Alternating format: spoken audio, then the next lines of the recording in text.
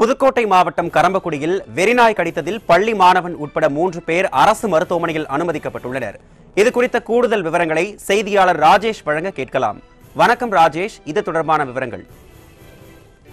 அருண் புதுக்கோட்டை மாவட்டம் கரம்பக்குடியில் வெறிநாய் கடித்து பதினோராம் வகுப்பு படிக்கும் மாணவன் உட்பட மூன்று பேர் மருத்துவமனையில் வந்து அனுமதிக்கப்பட்டிருக்காங்க. அங்க பாத்தீங்கன்னா அந்த கரம்பக்குடியில் பாத்தீங்கன்னா தெருநாய் இன்னைக்கு வந்து நாளுக்கு நாள் அதிகமா இருக்கு. அதிகாரிகள்ட்ட பலமுறை அந்த பகுதி பொதுமக்கள் வந்து மனு கொடுத்தோம். அந்த அந்த நாயை வந்து அப்புறப்படுத்துறதுக்கான வேலையில அவங்க கொஞ்சம் கூட ஈடுபடல.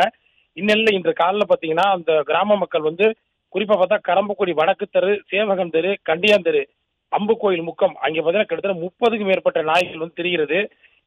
இந்த இடத்துல அந்த பதினொன்று பையன் காலைல ஸ்கூல் போகும்போது வெறுநாய் வந்து பாஞ்சு கடிச்சிருக்கு. உடனே அங்க உள்ளவங்களாம் வந்து துரத்தி வந்திருக்காங்க. அது விடாத நாய் மேற்கொண்டு பார்த்தீங்கன்னா கை கால் எல்லாத்தையும் கடிச்சிருக்கு.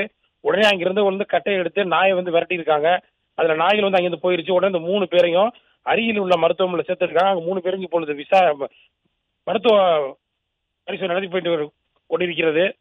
இந்த இந்த பொதுவாக பார்த்தீங்கன்னா புதுக்கோட்டை மாவட்டம் முழுவதும் தினமும் இந்த இந்த வெறிநாய் கடையால ஒருவராவது பா- பாதிக்கிறது ஒரு தொடர்கதையா இருக்கு அருள்